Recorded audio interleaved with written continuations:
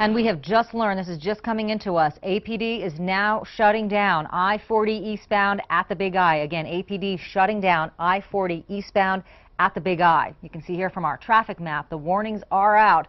Slick, dangerous conditions across much of the state. Almost every major road on the eastern side of the state is closed. Here's a look right now at the traffic camera on I-40 in Mountain View. You can see, of course, a lot of snow and ice out there and no cars, the way it should be.